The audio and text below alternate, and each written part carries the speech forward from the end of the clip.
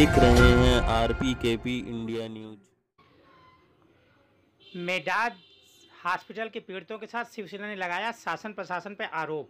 क्या पीड़ित परिवार की जान चली जाएगी, तब पुलिस हरकत में आएगी? कन्हैया तिवारी, जबलपुर।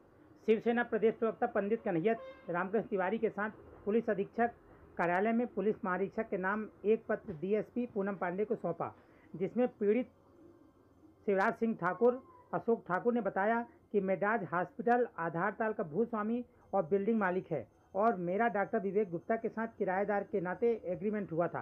परंतु आरोपी डॉक्टर विवेक गुप्ता ने मेरे साथ धोखाधड़ी कर अपने गुर्गों के साथ गैर कानूनी तरीके से बिना मेरी अनुमति और बिना मेरी जानकारी के षडयंत्र रचकर मेडाज हॉस्पिटल आधारताल किराए पर दे दिया, जिस पर मेरी शिकायत में उपरोक्त प्रकरण में अतिरिक्त पुलिस अधीक्षक क्राइम ने जाँच कर एफआईआर दर्ज करने आदेशित किया।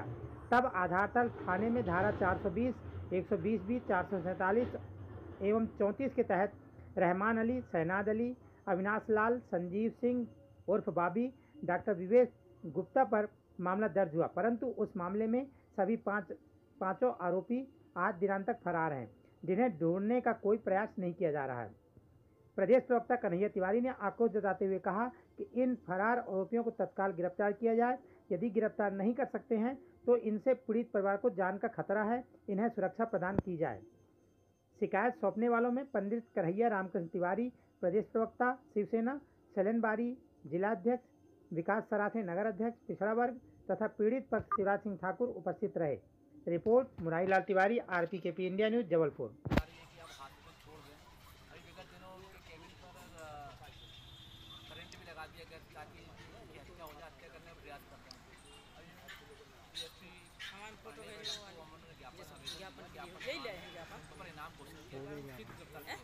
ज्ञापन हो गया। हम हैं। तुमको बोला था हम बैठे थे।